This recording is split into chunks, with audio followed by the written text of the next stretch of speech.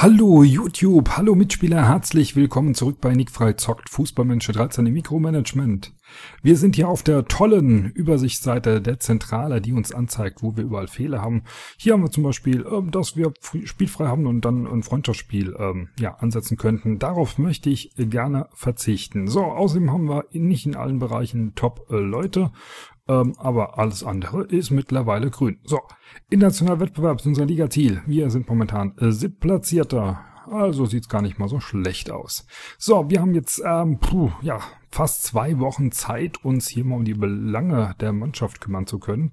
Ähm, er ist nicht spielbar. Ja, irgendwie habe ich was gelesen. Ich bräuchte einen Anwalt, damit der dann äh, ja die Berechtigung kriegt, in der Liga irgendwie mitzuspielen. Äh, Sportrecht, Arbeitsrecht, super. Ich weiß gar nicht, ob ich überhaupt noch einen verpflichten kann. Ja, das war mir klar. Ich habe gar nicht so viel Plätze für Arbeitnehmer, wie, äh, wie ich bräuchte, scheinbar. Also, keine Ahnung. Ähm, der muss doch auch irgendwie anders zu uns kommen. Kann doch nicht sein, dass das nur darüber geht. Äh, wo sitzen wir die Mitarbeiter fest? Äh, Sponsoren, äh, ja, das ist ja auch nur Level 4, das Gebäude. Äh, für 300.000 können wir es ausbauen, dann können wir einen mehr einstellen. Ähm, hört sich gut an. Bauen wir mal. Kann sich ja nur im Jahre handeln. Ne? 26 Tage bauen die das aus, okay? Hört sich gut an. Nehmen wir mit. Ja, fast volles Stadion gegen Atletico Madrid. Alter. Das wird voll, würde ich sagen. Ähm, das soll trotzdem hinhauen. Ja, im letzten Spiel hier gegen äh, die haben wir leider nur 5000 eingenommen, obwohl wir mehr... Hm? Ja, okay. Wir haben die Gastronomiekosten erhöht und die Einnahmen äh, gesenkt. Ja, das macht Sinn. Äh, so verdient man Geld. So, für die äh, Stadionhefte, da haben wir ganz gut verdient, aber nicht alle verkauft. Macht auch Sinn. Und die Toilettenkosten sind natürlich auch erhöht. Hm nur 5000 umgesetzt. Ist natürlich, äh, ist natürlich nicht ganz so gut, wenn man da nur 5000 umsetzt. Dann machen wir mal nur 7000 Stadionhefte und äh, machen da mal eine Gastronomie weg. So. Dann, was haben wir dann noch Schönes? Ja, die erste Mannschaft. Wie gesagt, das ist unsere große Baustelle, die wir zurzeit haben. Äh, die Jugend äh, sieht noch ganz gut aus. Das dauert noch ein bisschen, bis da wieder neue Spieler dazukommen. Trainingspläne haben wir, glaube ich, sogar schon festgesetzt. Teamdynamik sollte eigentlich langsam ein bisschen besser aussehen. Immerhin haben wir ja hier einigen Leuten die Gehälter erhöht, was zu heftigen Diskussionen geführt hat. Einer hat immer noch unfaire Gehälter. Ähm, der hier verdient Doppelte von ihm. Ich kann es verstehen, dass das ihn hier äh, nicht wirklich freut. Aber Gott, so ist das. Äh, müssen wir einfach durch. Ja, 5,4 Millionen haben wir noch im Gehaltsbudget. Da können wir natürlich noch ein bisschen mit arbeiten. Mal gucken, was wir da noch bei rumkriegen. Transfermarkt, wie sieht der eigentlich aus? Äh, Gibt es momentan irgendwie Spieler, die gut sind, talentiert sind, keinen Verein haben? Äh, Jetzt kommt der hier um die Ecke für 1,82 Mille. Hätten wir mal vorher wissen müssen, ne? Hätten wir den mal kaufen können. Ja, jetzt ist zu spät. Jetzt haben wir einen, der nicht spielen darf. Ist natürlich auch äh, super. Das braucht man. ja, wer, wer so äh, Geschichten macht, der braucht dann auch keine Feinde mehr. Nee, das macht alles schon äh, man selbst gegen sich selbst. Gut, ähm, damit wir hier die Boni mitnehmen können, wobei wir brauchen es nicht, wir brauchen es nicht, also lassen wir es einfach mal da liegen. Es kann immer mal wieder was kommen, wo es kritisch wird. So, wir müssen trainieren natürlich für unseren Marathonlauf und ich wurde gefragt, ob ich in der Familie meiner Partnerin mal einen Heiratsantrag machen könnte. Ähm, können wir, aber sie will zurzeit nicht. Ja, so ist das manchmal. Sie will zurzeit nicht. Ähm, ja, ich glaube, wir schenken ihr was. Sie war ja ganz lieb. Macht keinen Stress. Und ähm, verursacht keine Ausgaben irgendwie. Ja, also äh, es scheint hier wirklich so zu sein, je schlechter das Ausgabenverhalten ist, umso weniger Geld gibt die aus. Was super ist. So, wir haben 1,1 Millionen und ähm, wissen nicht, was wir damit tun sollen, also kaufen wir uns mal ein Haus. Kleine Villa wäre ganz nett. Unglaublich. Kleine Villa. Äh, können wir nicht groß machen. Müssen wir besitzen, dass wir es groß machen können. Ne? Tolle Apartments. Plattenbausiedlung. Ähm, großes Wohnhaus, Haus im Grün. Ja, Haus im Grün wäre vielleicht für den Anfang auch mal nicht schlecht. Das könnte man mal kaufen, da sind wir die Miete los. Haus zum Wohnen kaufen. Ja, super. Haben wir ein Haus zum Wohnen gekauft. Das sollte wieder Punkte geben normalerweise, äh, Managerpunkte oder so irgendwie was. Ähm, keine Ahnung, ob das sonst noch irgendeine Auswirkung hat. Ich glaube, die monatlichen Fixkosten bleiben gleich. Darauf dürfte sich eigentlich nicht auswirken, obwohl es, naja gut, man kann sagen, die Miete ist weg, dafür hat man Unterhaltskosten. Wie auch immer. So, wir machen mal ein Häuschen weiter, denn wir müssen uns vorbereiten auf einen Marathon, den wir bald laufen. Und äh, müssen natürlich auch die Zeit nutzen hier. Ähm oh, der unterschreibt seinen neuen Vertrag hier. Drei Jahre bei uns. Ist er jetzt immer noch schlecht gelaunt? Nee, er ist nur noch verstimmt. Weil er verdient ja jetzt auch mehr Geld. Dafür ist er langfristig gebunden. Und ähm, auch ihn können wir eigentlich... Ach so, genau, das wollten wir mal gucken, ob die hier als Spiele gezählt werden. Haben die Spiele gemacht? Nein, Einsätze null. Das ist doch zum... Uah! Die spielen doch, die haben doch hier eine Liga. Äh, wo ist es? Die haben doch hier eine Liga, die haben doch drei Spiele gemacht. Warum werden die nicht als Spiele gezählt?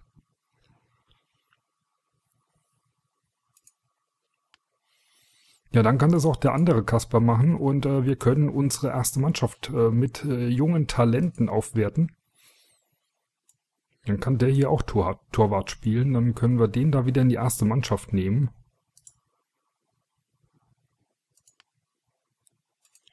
Äh, da haben wir wenigstens mal ein paar Ersatzspieler. Das ist ja auch nicht so verkehrt.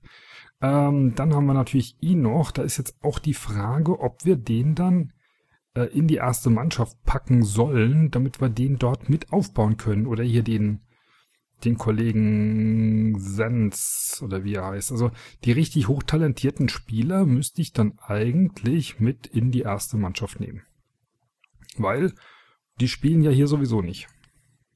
Und wenn die hier sowieso nicht spielen, ähm, habe ich jetzt einen falschen Hof verschoben? Alle Leute mit richtig Talent verschiebe ich jetzt in die erste Mannschaft. Damit die wenigstens ein gescheites Training kriegen. Ja, so, den Rest machen wir hier aus, automatischer Aufstellungsassistent. Dann reicht auch die Gurkentruppe. Jetzt erstmal gucken, habe ich da irgendwie... Nee. Das sind alles Leute, die Mods Talent haben. So, die fühlen sich jetzt schon mal aufgewertet. Und jetzt haben wir auch das Problem los. Ähm, also jetzt haben wir auch Spieler, die wir dann mal einwechseln können. So am Zuma. Also zum Beispiel... Ähm, ja, keine Ahnung, wenn wir ein Freundschaftsspiel zum Beispiel machen, was wir ja nicht tun, äh, macht Sinn, irgendwie. Naja, wie auch immer. Ähm, wir könnten jetzt zum Beispiel mal hingehen und könnten Francescao, könnten wir mal auf die Bank setzen, dass er eingesetzt wird und uns vom Willi so langsam geistig verabschieden. Ähm, der Wellington, ja, auch von dem müssen wir uns langsam geistig verabschieden, aber die sind halt noch nicht so weit, dass wir die wirklich aufstellen könnten. Das ist halt so das Hauptproblem hier. Äh, ich bin am überlegen, ob wir die ver verleihen sollen. Das können wir natürlich auch noch machen. Das machen wir auch. Ähm, ähm, irgendwie äh, versuchen wir das mal. Ähm, äh, Spiele anbieten ähm, zur Leihe für 80.000.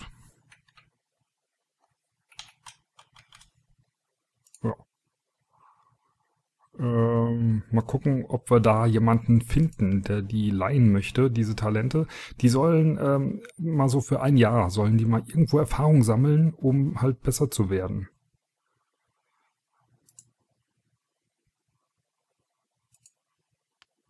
Gucken, ob das gut geht, ob das hinhaut.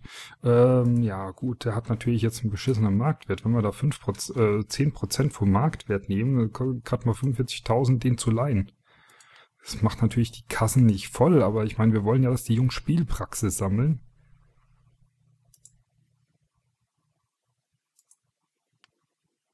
Weil das sind ja hochtalentierte Leute, ja. Das macht ja keinen Sinn, die auf der Bank hier verschimmeln zu lassen, weil wir die nirgendwo einsetzen können. Macht ja, macht ja so überhaupt keinen, keinen Sinn. Vielleicht finden wir ja da Abnehmer in der zweiten Liga oder so. Ich weiß ja auch nicht. So, die bauen wir ja selbst auf. Fabrice hat äh, schon Hammer-Tor gemacht für uns in der Liga mit äh, Stärke 65. Also im Zweifelsfall, wenn wir die nicht verliehen kriegen, gucken wir uns äh, mal denen ihre Talente an, ähm, wo die gar nicht mal so schlecht sind. Und äh, wenn wir dann hier in den Talentbereichen noch ein bisschen zulegen können demnächst, ähm, dann können die vielleicht auch mit schwächerer Stärke auf dem Platz auflaufen.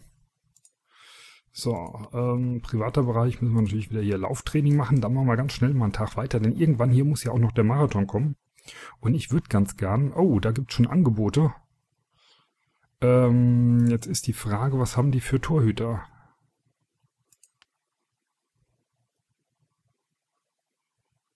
Hm. Die suchen im Prinzip einen Ersatztorhüter, wenn ich das richtig sehe, und ähm, haben da keinen gescheiten. Und das wäre erste Liga. Das macht natürlich wenig Sinn. Auf der anderen Seite ähm,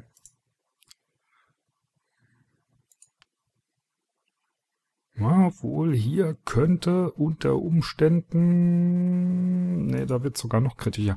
Ja, ist eine gute Frage. Ich meine, die gehen in der Hälfte der Saison bis Ende der Saison.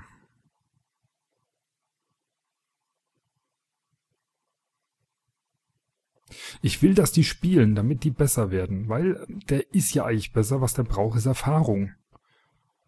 Erfahrung, Selbstvertrauen. Was hat ein Real Saragossa? Das ist doch bestimmt eine Mannschaft, die ist, äh, na, die ist zwar da hinten, aber die hat auch gute Leute. Mal gucken, was die so im Tor stehen haben. 73er. Ach, das ist aber auch ein Ärger, ist das. Warum kommen da keine Zweitligamannschaften?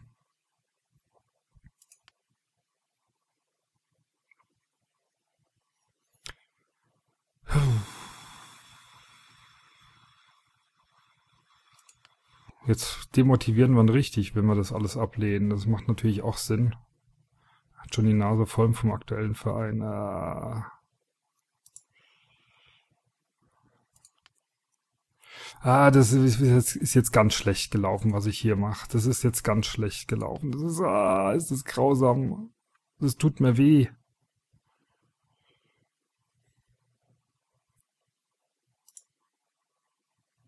Die haben alle so gute Leute. Warum wollen die die leihen, wenn die so gute Leute haben? Ich verstehe es nicht. Ich verstehe es nicht, warum die die leihen wollen. Innenverteidiger, ja, bei Mallorca mit Stärke 61. Hallo, gucken wir ins Team. Innenverteidiger 72, 69 und 67. Die haben bessere Leute und wollen den leihen. Warum? Damit sie ihn auf die Tribüne setzen können? Das könnte auch bei uns. Da wechseln wir ihn ja häufiger ein wie die. Warum kommen da nicht Clubs, die die einsetzen können? Warum kommt da nicht ein Schweizer Verein oder sowas? Ach, Mann. Wenn wir das jetzt alles ablehnen, ähm, ja, Super, das habe ich gigantisch gemacht. Da will ich sie anbieten und dann lehne ich alles ab. Aber es macht keinen Sinn. Da sind keine Vereine dabei, wo die wirklich spielen könnten. Und da macht es keinen Sinn. Da macht es einfach keinen Sinn. So, Ablöseverhandlung gescheitert, gescheitert, äh, gescheitert, äh, gescheitert, gescheitert und gescheitert. Und die Stimmung von den Jungs ist dafür jetzt richtig im Arsch. Nö, geht sogar. Ich habe gedacht, die werden jetzt richtig sauer. Also setzen wir lieber wir die ein. Also, macht ja gar keinen Sinn. Die an welche zu verleihen, die die auf die Tribüne setzen. Hallo? Da können sie auch bei uns auf der Tribüne sitzen und eingewechselt werden. So, weiter geht's. Äh, die nächsten wollen die. Aber auch die sind ja nicht stark genug.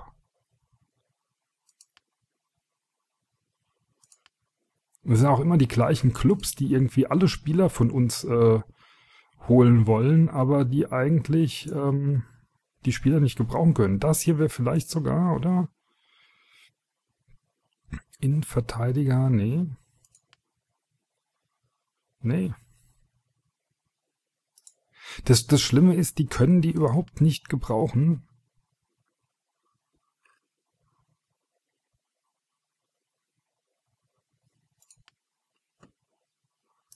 Ich weiß nicht, was ich dazu sagen soll. Ich meine, äh, Wenn die die gebrauchen könnten, würde ich sagen, supi. Aber wenn die die nicht gebrauchen können, was wollen die dann mit denen? 65, 60, das hört sich interessant an. Das hört sich interessant an. Das ist auch die zweite Liga, 65, 60, kein Ersatzspieler auf der Bank und dann haben sie hier unten noch äh, zwei Innenverteidiger, die der eine darf nicht, der hat keine Spielberechtigung und der andere, der ist starke 63. Und die fragen an, ob sie den hier kriegen können. Der äh, könnte man drüber nachdenken. Da könnte man dann wirklich drüber nachdenken. Also was machen die hier? Was, was sprechen die Innenverteidiger? 65, 65, 65. Ähm, weil, ich meine, die müssen natürlich auch spielen. Wenn die nicht spielen, dann macht das keinen Sinn. So, also da brauchen wir schon mal nicht. Da brauchen wir schon mal auch nicht. Und da brauchen wir schon mal auch nicht. Ah, ist das ein Drama. Ja, es wird Zeit, dass wir da irgendwie äh, Leute kriegen. So, internationale Nominierung. Ähm, Mustafi für die Schweiz. Das akzeptieren wir, dass der für die Schweiz spielt. Ähm so, der fällt aus wegen Bluterguss. Ich habe ein bisschen Sorgen, dass die Jungs demotiviert werden, weil wir alles ablehnen. So, Mustavi ist jetzt erstmal hier ähm, auf äh, Länderspiel. Ähm, komischerweise nur Mustavi. Wundert mich ein bisschen, weil... Ähm,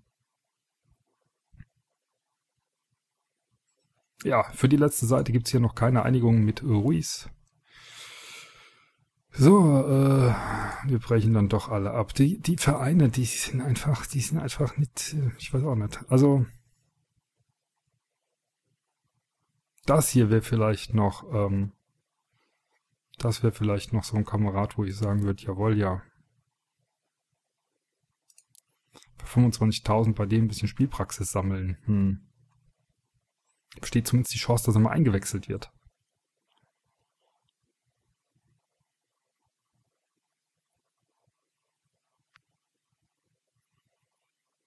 Nee, wir kümmern, wir kümmern uns einfach, wir kümmern uns einfach selbst um die. Wir bauen die selbst auf. Das sind keine Vereine dabei, wo ich sagen würde, jawohl, ja, ähm, das macht Sinn, mit denen können wir arbeiten. Das sind hervorragende äh, Mannschaften, ähm, die bauen unsere Spiele auf. Ist einfach nichts dabei. Sondern haben wir hier ein, ähm,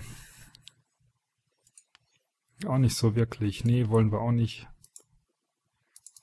Ja, wir tun uns ein bisschen schwer hier bei so Entscheidungen, aber das liegt auch daran, wir kennen hier ähm, die Bedingungen nicht so, so wirklich. So, hier haben wir wieder neue Spieler nachgekriegt und äh, wir stellen fest, äh, es ist nichts gebraucht, äh, nichts Brauchbares dabei, deshalb müssen wir die alle wieder rausschmeißen. das ist auch super, ne? Wöchentliches Rausschmeißprogramm, ähm, dass man hier, also normalerweise, wenn das wirklich so gewollt ist, dass die Entwickler sagen, okay, man kann also nicht, dass wir mal einen heimschicken können oder so, sondern man kann das wirklich nutzen, um sich hier Jugendspieler zu farmen aus der Umgebung. Äh, da frage ich mich, warum es nicht unten so einen Filter gibt, nach dem Motto automatisch alle heimschicken, die nicht das Talent und die Stärke haben. Ohne Witz, wird die Arbeit erleichtern. So, wie sieht's hier aus? Ähm, rechtes Mittelfeld haben wir keinen dabei. Rechtsverteidiger haben wir einen dabei, der schlechter ist wie den, den wir haben. Ja, sieht danach aus, als ob wir die auch alle heimschicken. Hause schicken. Hause schicken. Nach Hause schicken. Und nach Hause schicken. Und nach Hause schicken. Und den natürlich nach Hause schicken. Und weil es so schön ist, schicken wir den auch noch nach Hause. So. So, da sind sie wieder alle weg. Ähm, ja. Die haben dann doch mal unentschieden gespielt und stehen auf Tabellenplatz 14. Äh, und die haben äh, auch einmal unentschieden gespielt und stehen auch auf Tabellenplatz 14. Ja, ist ja hervorragend. Es läuft, Leute, es läuft. Ähm, einfach grandios, wie das läuft. So, Training läuft, Karriere äh, für Marathon trainieren. Wir laufen ja bald den Marathon. Ich bin gespannt, ob wir den schaffen. Keine Einigung äh, wegen Victor Ruiz. Ja, ich krieg wohl, ähm, so wie ich das hier mache, kriegen wir das wohl äh, nicht durch. So, ähm, Schweiz gegen Niederlande 1 zu 0, 88. Minute macht Mustafis Tor. Wunderbar. Wurde ausgewechselt nach seinem Torschuss und ähm, hat Note 3,5. Ja, hm. Nie so wirklich toll. So, Datenbank aktualisiert und dann haben unsere Leute, äh, unsere Kontakte in Thailand neue, neue Talente aufgetan. Ähm, die sind so grandios, dass in der Liste hier gar nicht auftauchen. Auch super. Da müsste ich die Filter wahrscheinlich runterdrehen. Aber da habe ich gar kein Interesse dran, weil was, was soll ich mit Thailändern, die keinen Fußball spielen können? So, ähm, ja. Ja, da haben wir dann den 14. und ähm, ja, ich glaube, so mit die zwei Wochen hier durchkeulen. Wir haben jetzt so viel Action gemacht, dass wir die zwei Wochen gar nicht durchkeulen können. So, Mustavi ist wieder zurück, das ist schön, hat ein bisschen Frische eingebüßt. Mittlerweile ist Taffer auch fit. Schön, hat er sich mal begnügt, ein bisschen fitter zu werden. Was macht denn unsere Infrastruktur? Äh, in 20 Tagen ist er fertig, dann können wir uns einen Anwalt einstellen. Wichtig, wir brauchen einen Anwalt. Tja, einmal Autosave, dann sind wir wieder montags und ich habe, wie gesagt, die Woche irgendwie so viel äh, gemacht, dass jetzt schon wieder 21 Minuten rum sind. Den müssen wir nochmal nominieren, der haut nochmal ab. So, Angebot für den wurde ab... Wieso abgelehnt? Ein Angebot von Benfica Lissabon für den wurde wegen einer zu geringen Ablöse automatisch äh, abgelehnt. Was hat denn der für eine Ablöse eingestellt, der Kollege hier?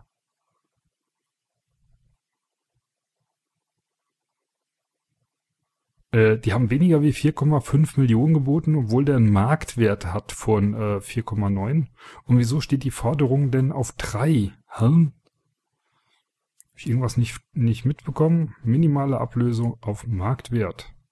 Forderung auf Marktwert. Forderung erhöhen.